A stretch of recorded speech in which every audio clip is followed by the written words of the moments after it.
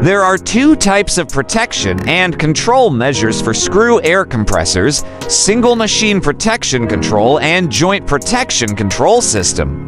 Single Machine Protection Control is a control system for each air compressor, and its control object is the various protection settings of a single air compressor. Joint Protection Control is that multiple air compressors share a control cabinet, and its control object is multiple air compressors connected to the joint control cabinet and can be connected to the DCS operating system in the control room. The main contents of joint protection control are air compressor host setting and switching, single machine joint control start and stop sequence and delay, etc. to maintain the balance of running time of each air compressor. For more information, please click our official website and IG